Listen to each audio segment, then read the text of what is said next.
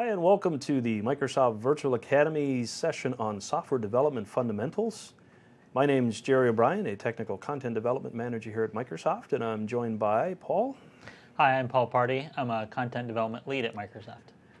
And uh, we're going to kick this session off focusing on Module 4 of the Software Development Series fun, uh, Fundamentals series.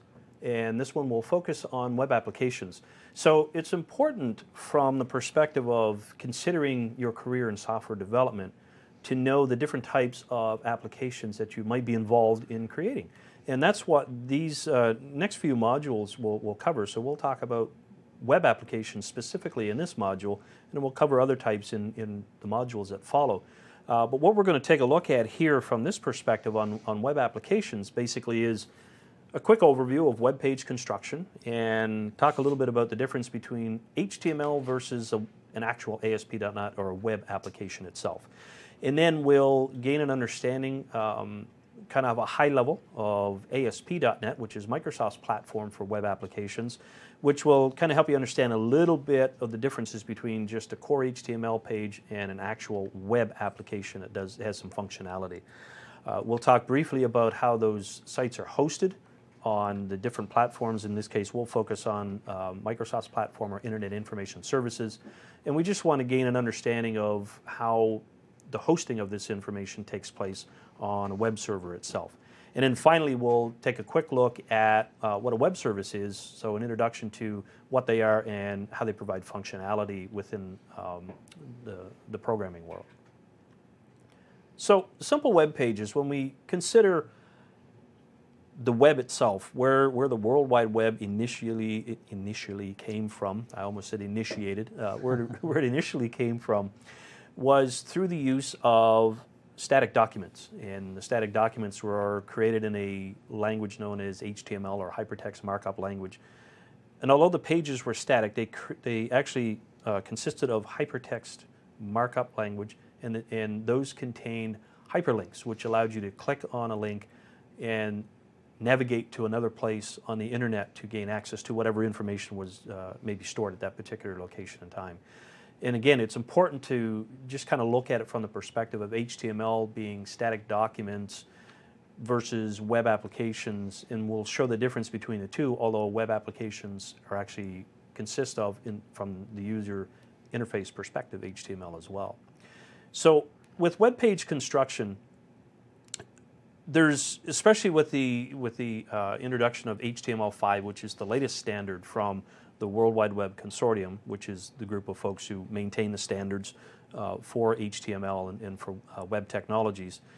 HTML5 now includes three technologies that complement each other, and there's HTML, or the Hypertext Markup Language, there's CSS, known as Cascading Style Sheets, and then there's JavaScript, which adds functionality to our applications.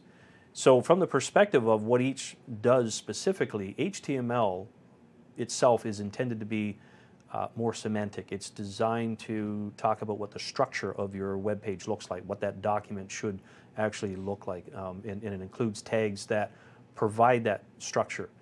The CSS is cascading style sheets is what's responsible for applying the look, if you will, of the HTML page itself. So it's responsible for saying how the elements on the page will look specifically. And it's known as cascading style sheets because it, we, you know, we, we can talk about inheritance and, and object-oriented programming concepts, but cascading style sheets also talks about an inherited method or a parent-child relationship between the styles that are applied.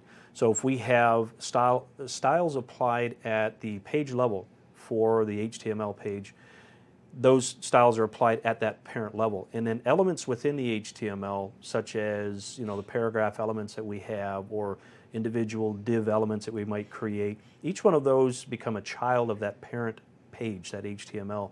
And we can apply styles at the individual attribute level or the individual HTML element level as well. And this creates that cascading effect. So we might apply a text color of blue to all H or all body text of the page but then get into a paragraph element and change that color to red, in which case that overrides the previous one. So they, the styles kind of, and this is where that cascading comes into, they fall through what's known as a document object model. So the HTML the JavaScript and the CSS are all interpreted by the web browsers to display what you see on the page when you view it in Internet Explorer, uh, you know, Firefox, whatever your favorite browser may be. So let's go ahead and take a quick peek at an HTML demo so you can get an idea of what we're referring to. Jerry, before we get into the, the demo specifically, can you talk a little bit about um, state versus stateless, particularly given the concepts that we covered in previous modules? Um, I'm interested in here and just uh, having the, the beginning user understand the difference between a stateless machine and a state uh, one that uh, will maintain state between sessions. Yeah, so that's that's a good question, Paul. And so what Paul is referring to in terms of state and stateless, um, state refers to the ability of tracking, if you will, uh, specific information about what you're doing. So when you open up an application locally on your computer, you can have that application store information about what you're doing, so it becomes locally stored on that computer. And then when you open that application back up, it, it can come right back to where you were. So as an example, if you have a, a Windows Phone application or if you have an iPhone application that you were, you know, uh, in the process of taking a picture of something and you took the picture and you had saved it, and then a phone call came in right in the middle of doing something with the picture, which meant that whatever that application was that you were doing ends up in the background. When you come back to that application, the state information tells the app how to get back to where it was that you were and what you were doing specifically. So it might open up the last picture that you took, or it might take you in, in terms of if you were browsing the web, it, it should take you back to the page that you were actually browsing. Uh, and the other thing that Paul is referring to is when we get into web applications, typically they used to be uh, stateless, which meant that they didn't really track where you were and what you were doing. And a good example of that is if you open up your, your internet browser and you browsed off to you know, the Microsoft Store site because you wanted to buy the latest Surface tablet that's available, and you close down Internet Explorer, the next time you opened it up, it's not going to go back to that Microsoft Store website, you know, with the items in your shopping cart because it's it's stateless. Um, you have to have a way of determining where you were, were, what you were doing, and so you have to have a way of storing state information. Now, over the years, we've changed to storing it in things called cookies on the computer. Some people hate them. They're little, you know, text files that get stored on the computer that contain that specific state information. So if you've ever visited a website and you had the ability to customize the view of it, or if you visited an e-commerce site and you're adding items to your shopping cart and your browser session ends for some reason and you come back in and you go, hey, I signed back in and oh, there's my shopping cart stuff. So they knew exactly what I had that's an example of the web application is now implementing stateful information into it. So is that going to answer your question, Paul? Yeah, and I think there's just an important concept to keep in mind as you go from desktop programming to web programming, because the way that you maintain state between sessions and the way, way you maintain your data is going to be very critical. Um, and understanding that concept early, I think, will be helpful. Yeah, yeah, great. So you know, so kind of a great question. Uh, you know, to, to make sure you've got it clear in your mind they are a couple of different, they're different programming models, and you will have to be aware of that as you start coding in web applications, um, how you maintain that user state and, and how you have the ability to get them back to where they were.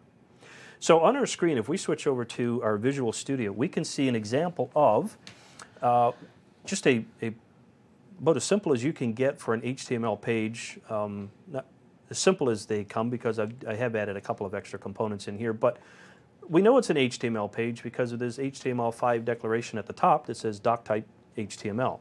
Um, we have tags in here, so HTML, head, title, body.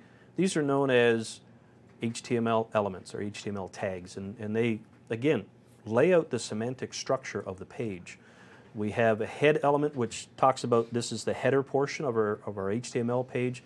And within the header portion, we can expect certain things to be present in there, such as the title tag. The title tag is something that tells us when we open this page in the web browser, this is what will be displayed in the tab.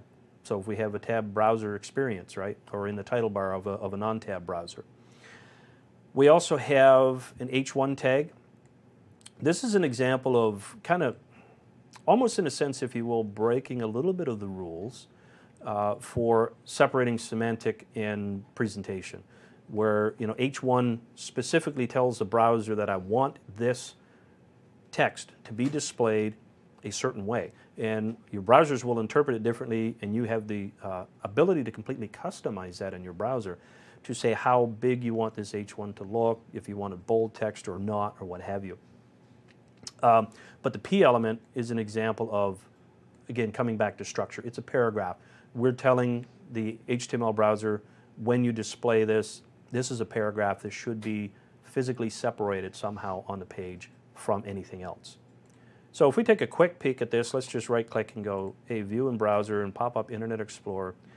And so we can see here's our generic page, here's our header, H1, and Internet Explorer says H1 should be a certain size and it should be in bold text. And a paragraph tag should just follow the standard normal text, whatever the user has configured in their browser. Um, and you'll notice that there is a space separating the two values here. So that's kind of what the, the P does was it, it, gave it that physical separation. And, and, the reason you don't see the tags here is, is uh, based on what something Jerry said uh, in the in the previous slide. The browser interprets those tags and then displays what's between them on the web page. So all the tagging is behind the scenes and is interpreted by the browser. And, and many browsers will interpret tags differently. That's why what you see in Firefox may not look the same in Internet Explorer and vice versa. Yeah, and, and that's a good point too, because you will find that different browsers will render different HTML elements not precisely the same. And as Paul mentioned, you know, you don't see the HTML tags in here, but if you were to right click on your browser, in this case, Internet Explorer offers it this way, Firefox may have a different menu in Chrome, etc.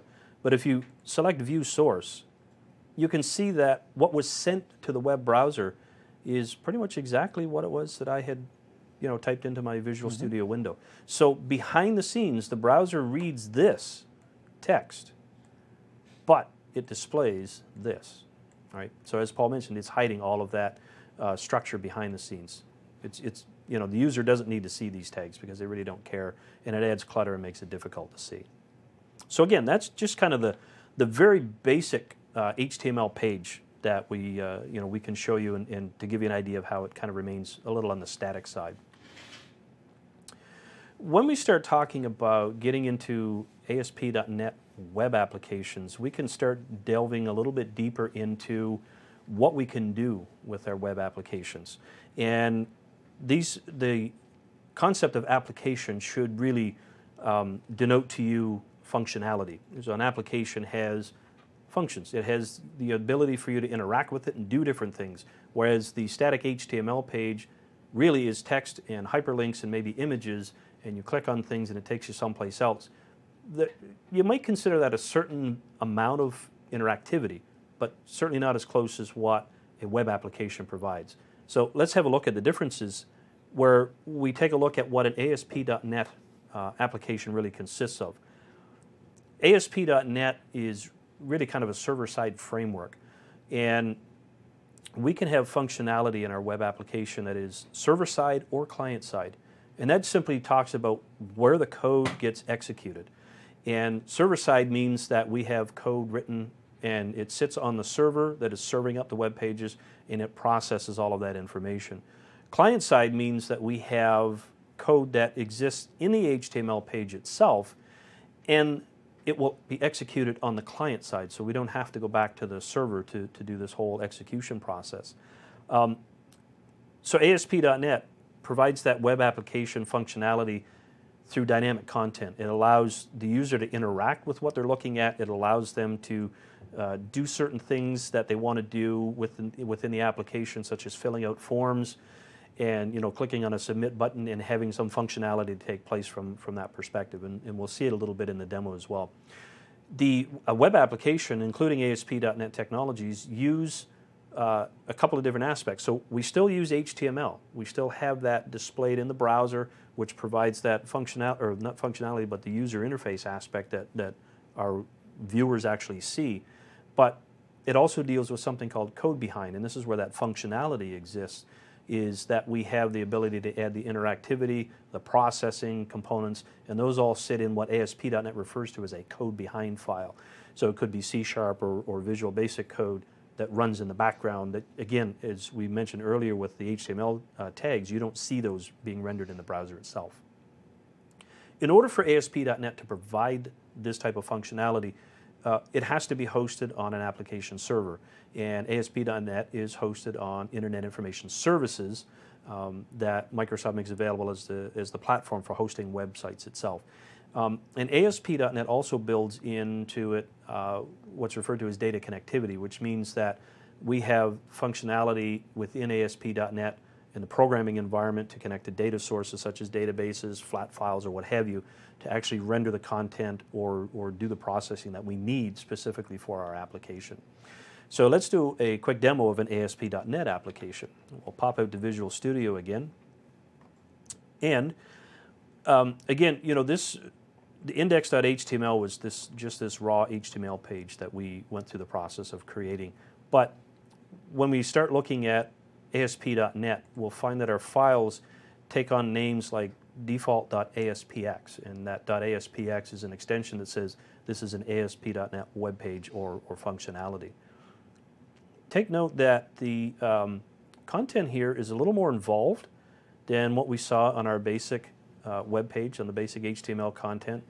We actually have tags in here such as ASP con uh, content itself, but we also have it interspersed with HTML tags, so you recognize the P element from earlier on.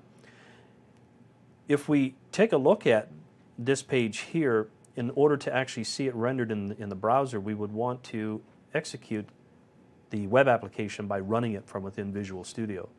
So by clicking on the Run button, we will actually, we're still firing up um, you know, the, the web browser to display this. But the thing that was interesting to note is here now, instead of just looking at a file, we actually have something called localhost. And Visual Studio includes this little component. You'll see this little new icon down here that says IIS Express. This is a smaller version of Internet Information Services that allows us to serve up web pages on our development machines. In a production environment, you would have a, you know, typically a Windows Server um, operating system running on the back end, and you would have a full version of Internet Information Server executing on that, and you would deploy your web application to that. But as we take a look at this page that's displayed, there's there's some definitely some HTML in here. There's definitely a lot of HTML in here. Again, if we you know right click and go view source, you can see that there's a, a way more um, HTML, way more uh, content in here than what was in our basic page. And this is where we're getting that functionality uh, from a web application perspective. It's also important to note that we've got some nice background colors in some of our headers, like in, in this ASP.NET header. We've got a button here that has, excuse me, has a nice little blue color to it. And so some of that functionality is all implemented through the use of style sheets. And again, if we take a quick source view, we'll take a look and see that we have these things called CSS files and style sheets that are in our code up here at the top. Those style sheets are what are responsible for providing that that display or that color, if you will, um, to our application itself. Do a quick pop out into Visual Studio here again for just one second, and let's stop running that application for a moment. We'll go back and look at our index.html.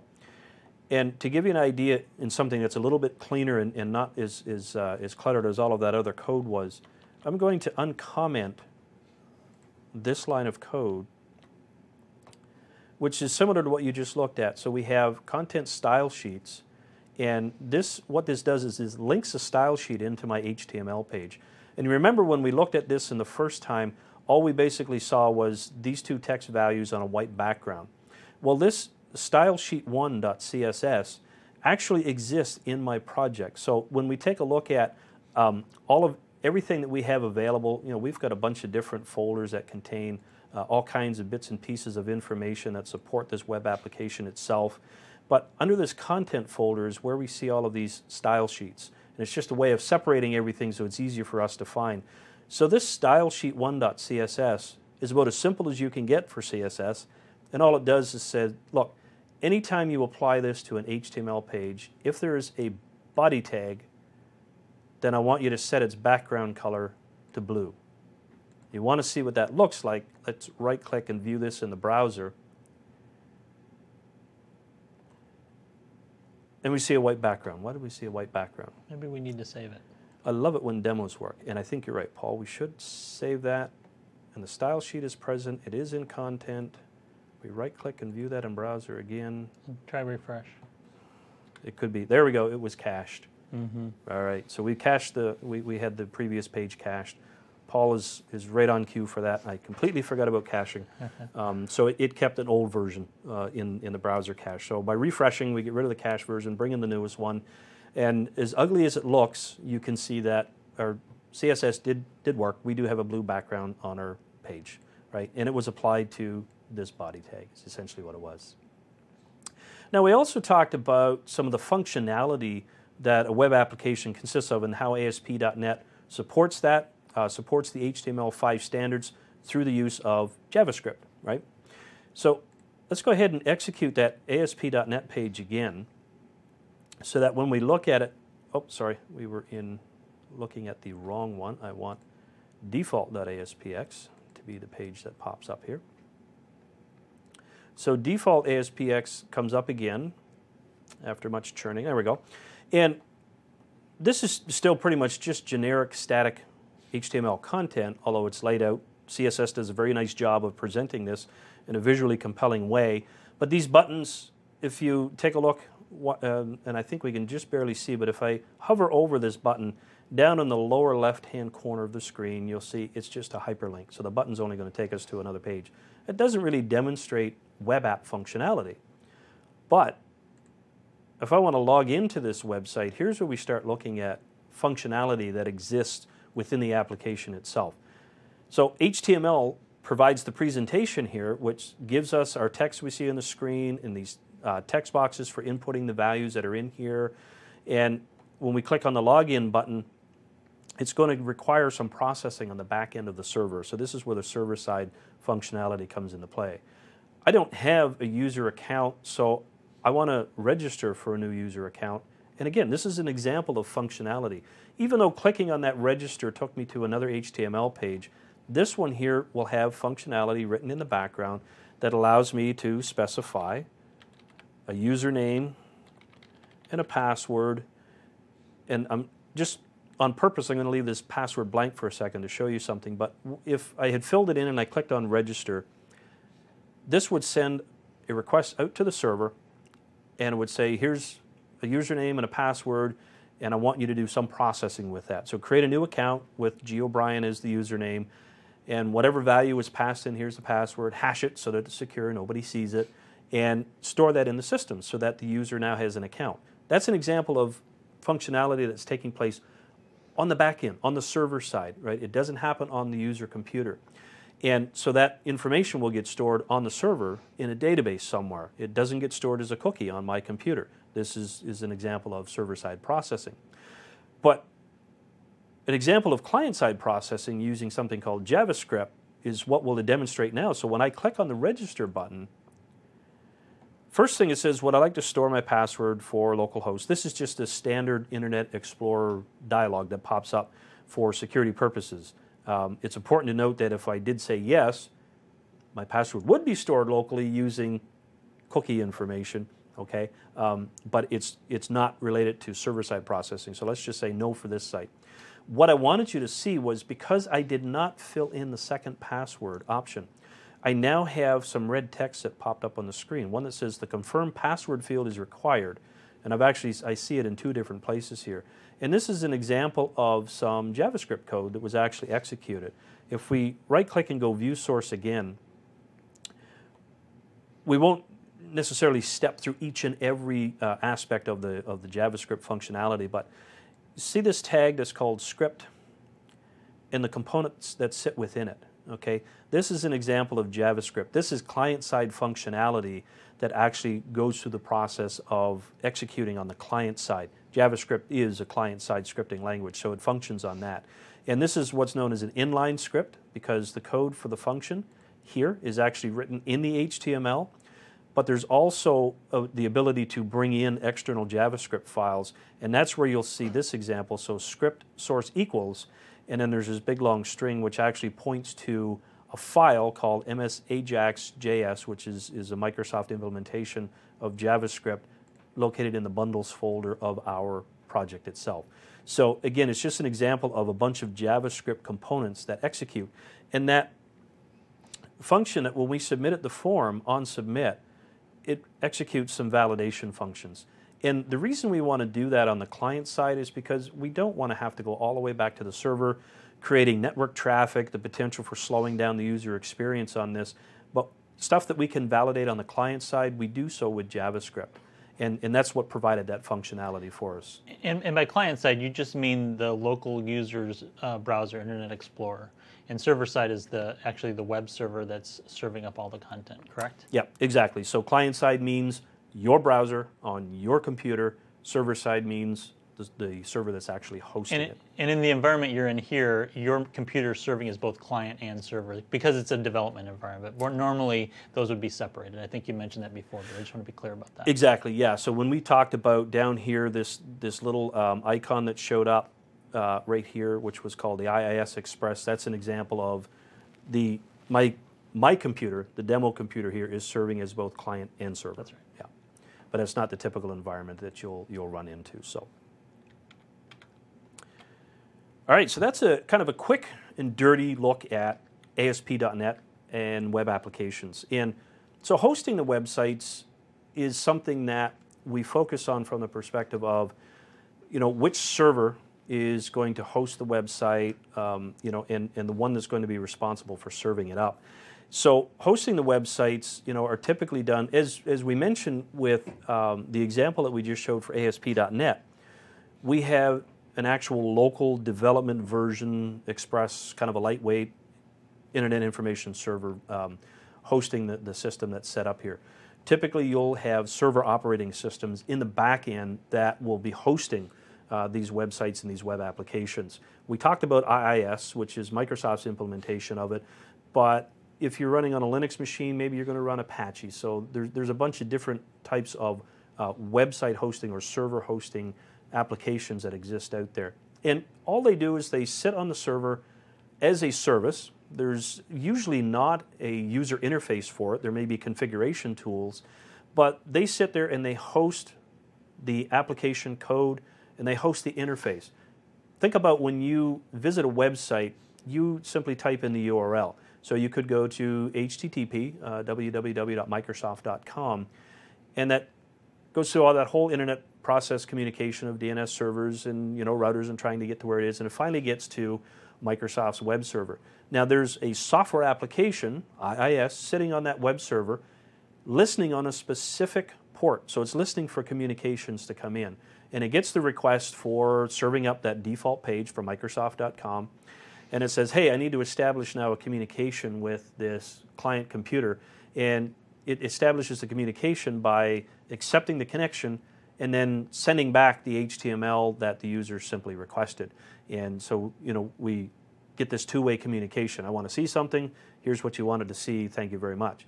The important thing to remember, and this goes back to Paul's conversation about state and stateless, is that once the web server has sent you back the HTML, it completely forgets about you. It's done. It doesn't care about you anymore. You've got the data. I'm going to sit and, and listen and wait for somebody else to come in and, and request. You may also not realize that when you connect to a website that hosts HTML text and images, for every image that exists on that web page, you're making another connection to the web server. So if you had 20 images on a, on a say the default web page for a particular website, you'll make an initial connection for the HTML page, and then you'll hit 20 more connections to that same web server just to download each and every one of those individual images. So they become different communication mechanisms. But it's that, it's that web server software, IIS or Apache or whatever you might be using, that is responsible for serving up the data and the requests that come in. All right? So the last thing we want to talk about in this particular module is a quick focus on web services. And web services are a little bit different than a web application, but a little bit the same. And where they differ from is that a web service typically doesn't have a user interface. So similarities are that a web service is hosted on a web server. And it could be IIS, it could be Apache, it could be whatever.